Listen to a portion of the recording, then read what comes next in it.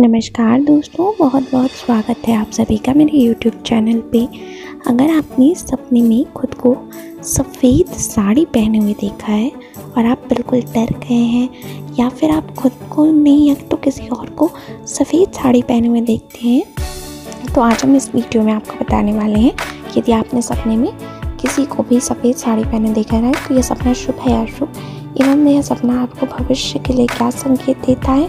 साथ ही साथ हम इस सपने को अगर आपने देखा है तो हम आपको एक उपाय बताएँगे जो कि आपको अवश्य करना चाहिए और हम आपको आपने यह सपना किस टाइम पे देखा है? उस टाइम के अकॉर्डिंग आपको इस सपने का फल कितने दिनों में प्राप्त होगा, हम ये भी बताएँगे।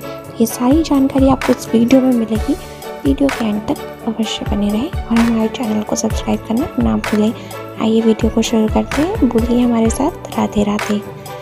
दर्शकों, यदि आप सपने में सफ़ेद साड़ी देखते हैं, किसी भी स्त्री को पहने तो यह सपना एक शुभ संकेत देने वाला माना जाता है। हिंदू ज्योतिष शास्त्र के अनुसार यह सपना एक बेहद ही शुभ संकेत देने वाला सपना है।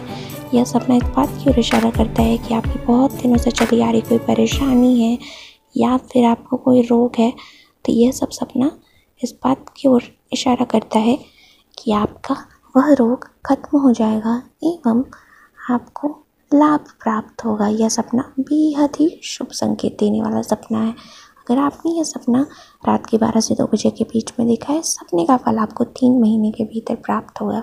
यही सेम सपना आप रात की दो से चार बजे के बीच में देखते हैं तो सपने का फल आपको एक महीने के भीतर प्राप्त होगा। और यही सपना आप चार से छः बजे के बीच में देखते हैं तो सपने का फल आपको एक हफ़्ते के भीतर प्राप्त होगा। एवं अगर आप ये सपना रात में देखते हैं, तभी इसका कोई फल प्राप्त होता है। अगर आप दोपहर या सुबह शाम में यह सपना देखेंगे तो इस सपने का कोई भी फल प्राप्त नहीं होता है। अगर अब आपने यह सपना देखा है तो आपको कोशिश करनी है कि आपको इस सपने को किसी से भी शेयर नहीं करना है, किसी को भी नहीं बताना है। वरना इसका शुभ परिणाम जो है, वो आपको प्राप्त नहीं होगा।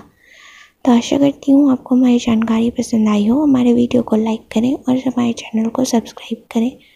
राधे राधे आप सभी का मंगल हो।